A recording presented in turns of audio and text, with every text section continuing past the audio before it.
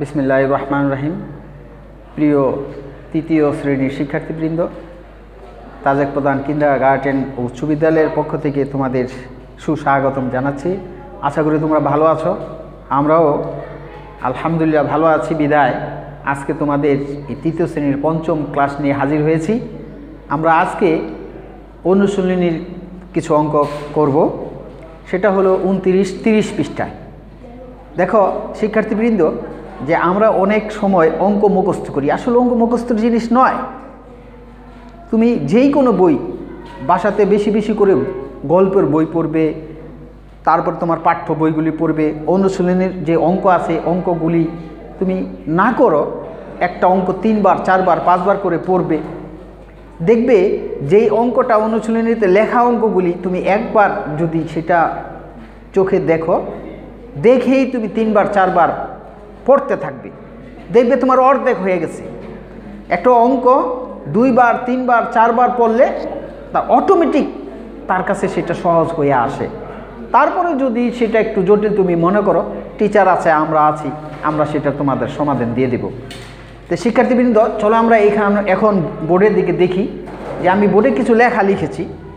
সেই লেখাগুলির সাথে তুমি ওই বইয়ের অঙ্কগুলির বিভিন্ন রঙের সাথে মিলাবে। যে আমরা যেন একটা অঙ্ক করলে যেই কোনো নামের অঙ্ক, যেই কোনো সংখ্যার অঙ্ক আমরা যেন করতে পারি। সেই জন্য আমরা একটু বোর্ডের দিকে দেখি। এখানে দেখো, আমি অনেকগুলি নাম লিখেছি। সুহি, রাজু, মিনা, সুজন, নীলু চাকমা, জেবা, মরিয়ম। এই নাম ছাড়াও সারা পৃথিবীতে যেই কোনো নাম হোক হোক সেটা ইংরেজি নাম, হোক আরবি নাম, হোক বাংলা নাম। দেখো, এখানে লিখবে এখানে গোলাপ এতটি, জবা এতটি, বেলি এতটি।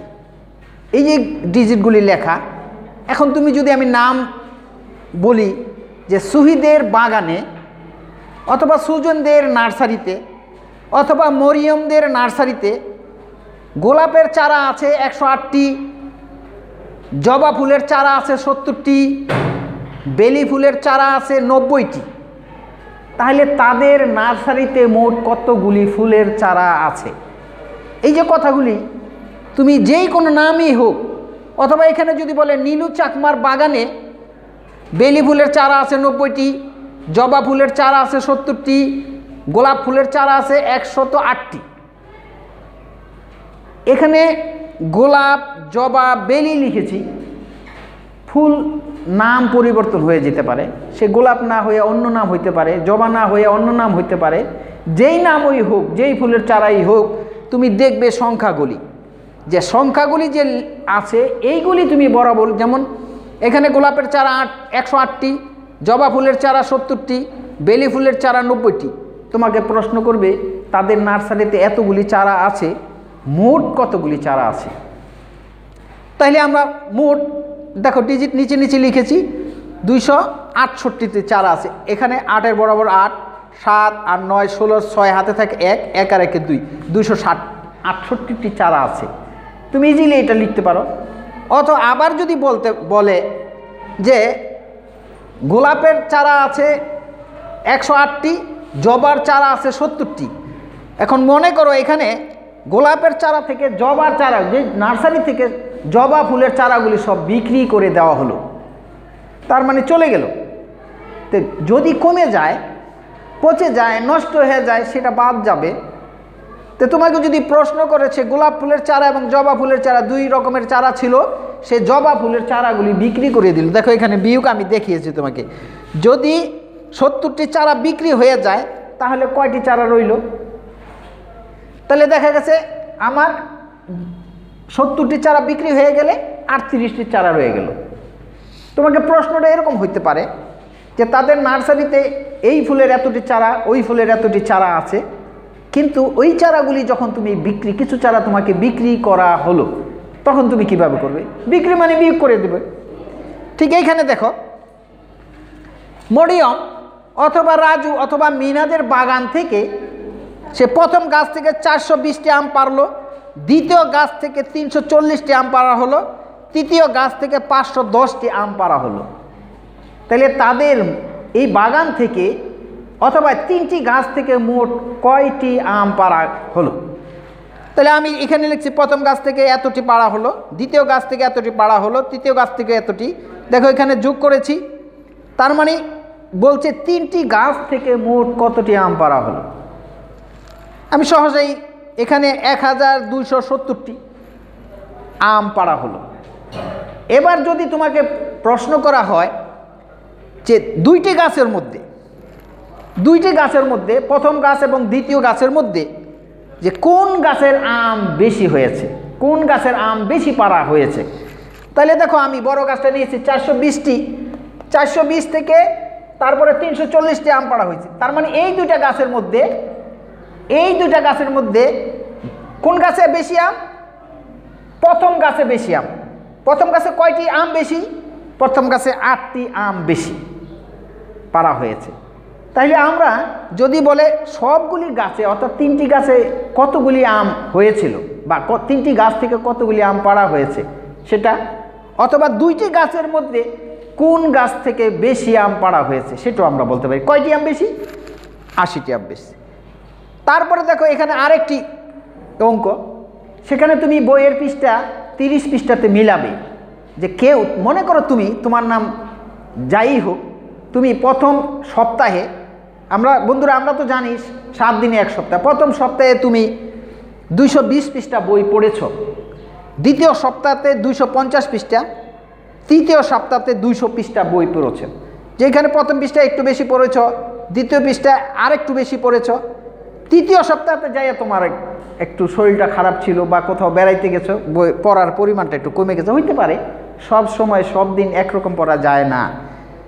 এখানেও তাই, যদি তোমাকে বলা হয় তুমি প্রথম, দ্বিতীয়, তৃতীয়, এই তিন সপ্তাহে মোট কত পৃষ্ঠা বই পড়েছ? তাইলে আমরা ইজিলি এখানে বলতে পারি শূন্য, পাঁচ আর দুই সাত, তিন তিন, ছয়। তার মানে আমি তিন সপ্তাহে ছয়শো সত্তর পৃষ্ঠা বই তোমার পড়া হয়েছে। এবার যদি আমি বিয়োগের মধ্যে আছি যে যোগের মধ্যে, বলতে তিন সপ, তিন সপ্তাহে একত্রে। এবার যদি বলা হয় যে দ্বিতীয় সপ্তাহে এবং প্রথম সপ্তাহে, এই দ্বিতীয় এবং প্রথম সপ্তাহের মধ্যে তুমি কোন সপ্তাহে বেশি বই পড়েছ? তাইলে আমার এখানে দেখা যায় দ্বিতীয় সপ্তাহে তুমি এরকম লেখো, দ্বিতীয় সপ্তাহেরটা আমি লিখলাম, দুইশো পঞ্চাশ পৃষ্ঠা পড়া হয়েছে এবং প্রথম সপ্তাহে পড়া হয়েছিল দুইশো বিশ পৃষ্ঠা। তোমাকে যদি এইভাবে প্রশ্ন করা হয়, তুমি প্রথম সপ্তাহে এত পৃষ্ঠা বই পড়লা, দ্বিতীয় দ্বিতীয় সপ্তাহে এত পৃষ্ঠা বই পড়লা, কোন সপ্তাহে তোমার বেশি পৃষ্ঠা, বেশি বই পড়া হয়েছে? তাইলে আমি দ্বিতীয় সপ্তাহে বেশি পৃষ্ঠা পড়া হয়েছে। কত পৃষ্ঠা বেশি পড়া হয়েছে? তিরিশ পৃষ্ঠা বেশি পড়া হয়েছে। শিক্ষার্থীবৃন্দ, এখানে আমরা যোগ এবং বিয়োগ সবটাই দেখলাম। তোমরা অবশ্যই বইয়ের সাথে মিলাবে। এখানে হয়তো নং ঠিক নেই সংখ্যা ঠিক নেই, কিন্তু তোমার পড়ার সাথে কিন্তু মিল আছে। তুমি পড়াগুলি অবশ্যই মিলাবে রিডিং পড়বে। যে আমাদের এই বোর্ডের এই লেখাটা তো তোমার কাছে অবশ্যই থাকবে এবং রেকর্ড রাখবে। যেভাবে যে আমি লিখলাম, ঠিক এরকমই তুমি খাতাতে এগুলি সাজাবে। সাজানোর পরে তোমার বইয়ের সাথে একটা একটা করে মিলাবে। এবার আমরা রোমান সংখ্যা সম্পর্কে আলোচনা করেছি গত ক্লাসে। আজকে একটু তোমাদের রিভিশন করে দিই। দেখো, একটা জিনিস মনে রেখো, যে পঞ্চাশ আমরা এল থেকে পঞ্চাশ সিতে একশো। এই এল দিয়ে আমরা পঞ্চাশ বুঝাই এবং সিতে একশো। রোমান সংখ্যা যদি লেখতে বলা হয়, তুমি সি লেখলে আমরা একশো বুঝব। তার মানে একশোকে সি দিয়া একশো বোঝানো হয় এবং এল সমান পঞ্চাশ বোঝানো হয়।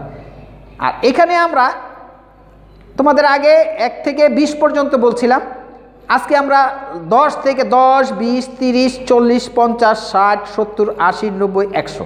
দেখো, একশো ডিজিট এখানে রয়ে গেছে, একশো সমান সি, পঞ্চাশ এল, পঞ্চাশ দ্বারা, এল দ্বারা পঞ্চাশ বোঝানো হয়, সি দ্বারা একশো বোঝানো হয়। এবং ওইগুলি দশ, যে দশ এক্স, আমরা জানি, এক্সে দশ বোঝানো হয়। তাহলে এখানে যদি লিখি দশ, একটা এক্স, বিশ, দুটা এক্স তিরিশ, তিনটা এক্স চল্লিশ, চারটা এক্স দেখো, সমান করে লিখবে, একটা বড়, একটা ছোট যেন না হয়। এবার দেখো পঞ্চাশ এলতে পঞ্চাশ। ষাট, আমি পঞ্চাশ দিয়ে একটা দশ দিলাম। সত্তর, পঞ্চাশ দিয়ে বিশ দিলাম দুটা দশ দিলাম। আশি, পঞ্চাশ দিয়ে তিনটা দশ দিলাম। নব্বই এল দিয়ে চারটা দিলাম।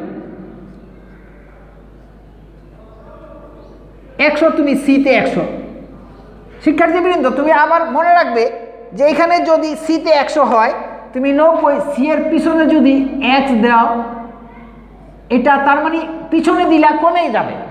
একশো থেকে কমে যাবে, এটাও নব্বই। তুমি বলা যাবে। সুতরাং তোমরা অবশ্যই এইগুলি অনুশীলন করবে। এগুলি কিন্তু আসলে লেখার বিষয়। যত বেশি লিখবে, তত ভালো করতে পারবে, তত তোমার স্মরণ থাকবে। লিখবে না, তোমার ভিতরে একটা সন্দেহ আসবে, এটা হবে কি হবে না। আর যদি তুমি রীতিমতো লিখো, তাহলে সেই সন্দেহটা তোমার থাকবে না। সুতরাং তোমরা, আমি যে আজকে কথাগুলি বললাম এবং বোর্ডে যেগুলি দেখালাম, তোমরা অবশ্যই বইয়ের সাথে মিলাবে এবং বই নিয়ে অবশ্যই বসবে। খেলাধুলা তো অবশ্যই করবে, খেলাধুলা করতেই হবে। কিন্তু তাই বলে লেখাপড়ার সময় নষ্ট করে খেলাধুলা করলে চলবে না। ঠিকমতো খাওয়া দাওয়া করবে, পরিষ্কার পরিচ্ছন্ন থাকবে এবং সময় মতো লেখাপড়া করবে। এই প্রত্যাশা রেখে আজকের জন্য এখানে শেষ করলাম। আল্লাহ হাফেজ। আসসালামু আলাইকুম রহমতুল্লাহ ওবরকাত